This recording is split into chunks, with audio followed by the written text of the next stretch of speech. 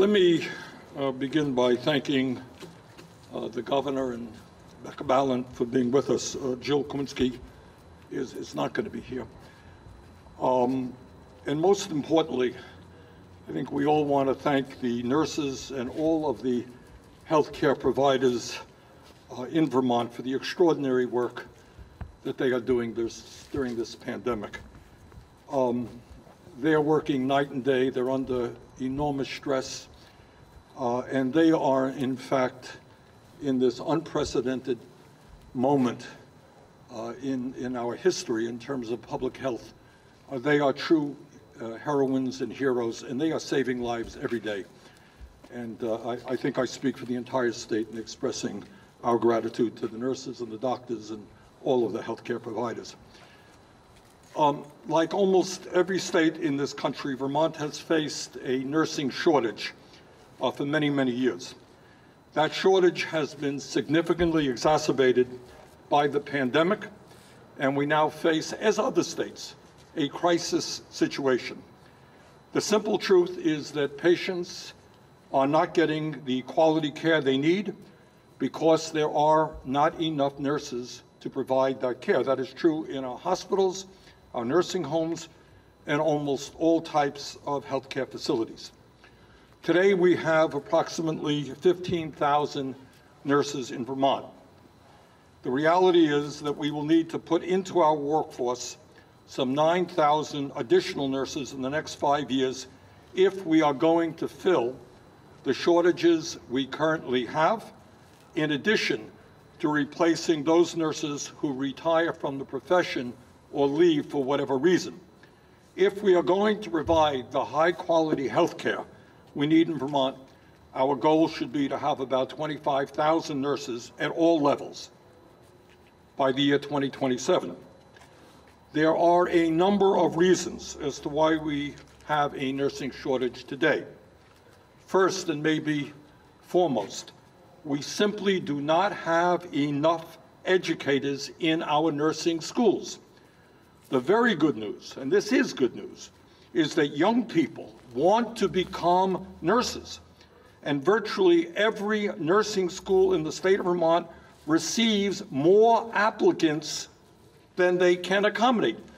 People want to enter this enormously important profession. Second, the problem is not just a shortage of nurses.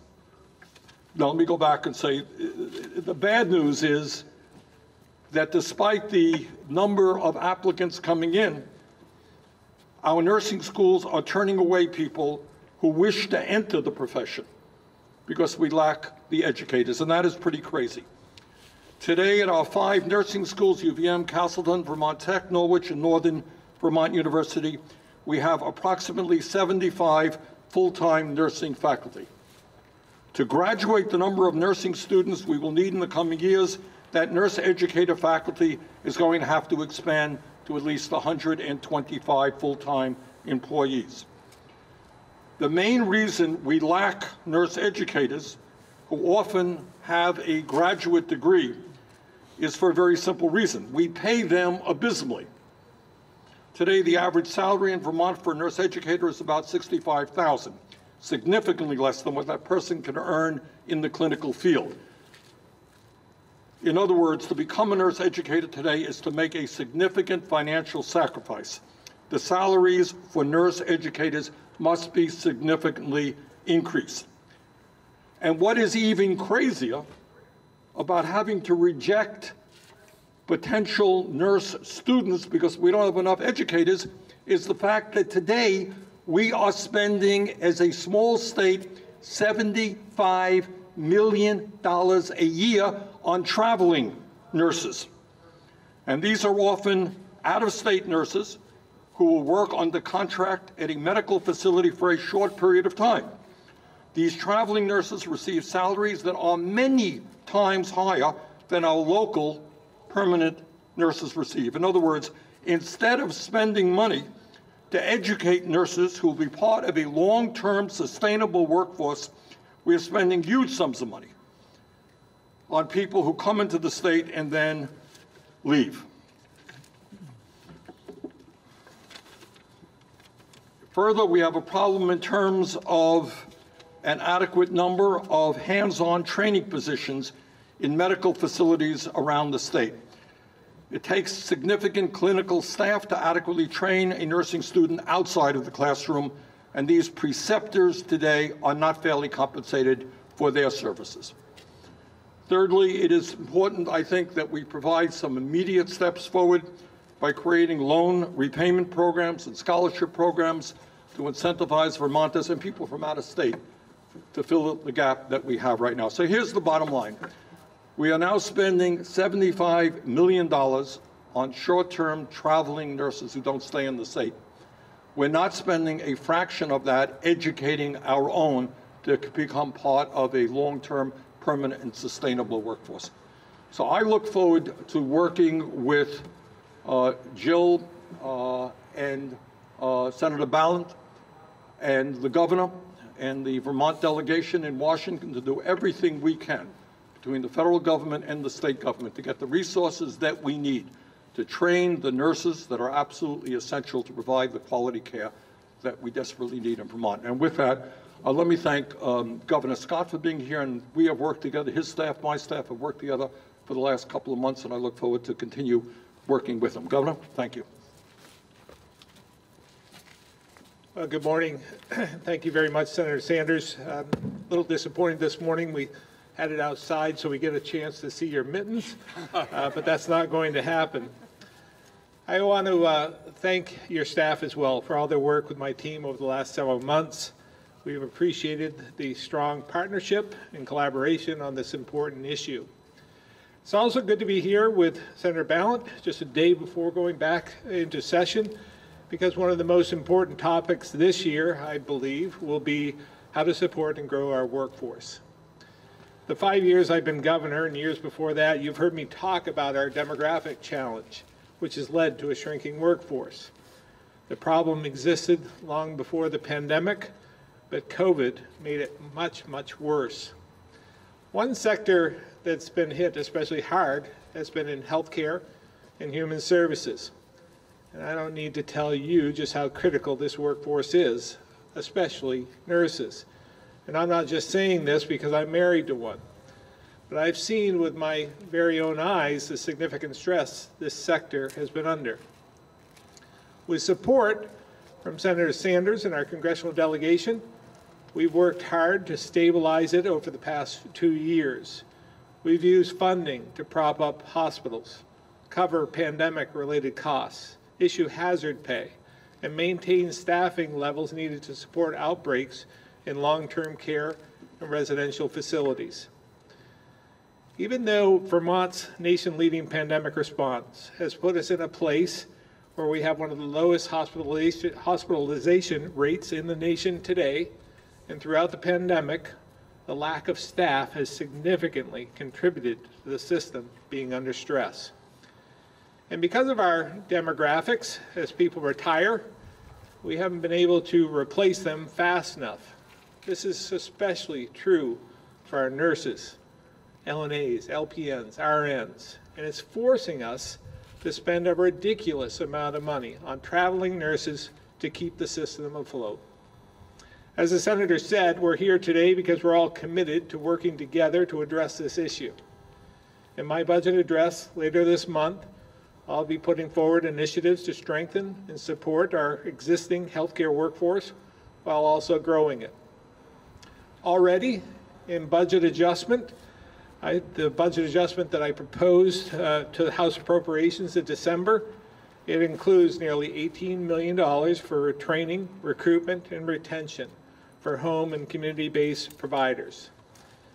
For the broader healthcare community, this week, I'll also propose an additional investment of 15 million in the second budget adjustment for retention bonuses, grants to support employers in training and retaining new nurse graduates. It also includes funding to assist with recruiting and re relocation of international nurses. Now, I know my team will not have all the answers, which is why working together is so important, and I look forward to our continued continued collaboration with Senator Sanders, the Speaker, Pro Tem, and other partners. I'm hopeful that this session, we can take meaningful action on growing the overall workforce and train people in all levels of healthcare and to retain them in whatever way we can so that they're here and available to care for Vermonters. And with that, I'll turn it over to the pro tem, Senator Balint.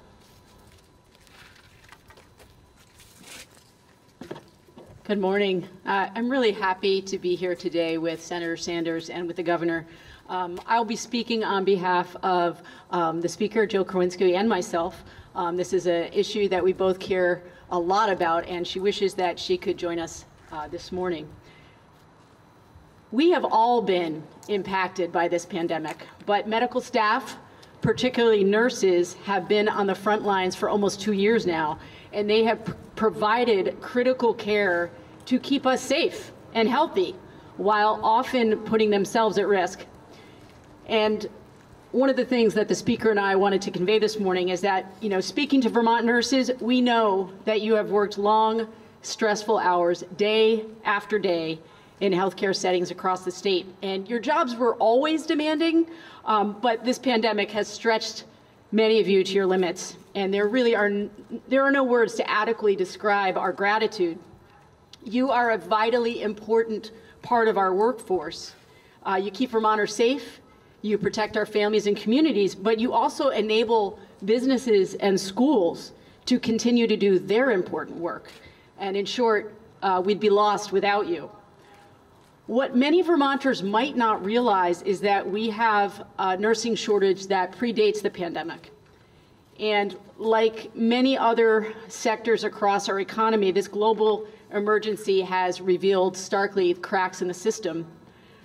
We need more nurses in Vermont, as the governor and Senator Sanders has, have already spoken to, um, and we have to be aggressive in addressing this shortage now. We need to do this for all Vermont communities because when we need medical care, we want to make sure that somebody is there to help us.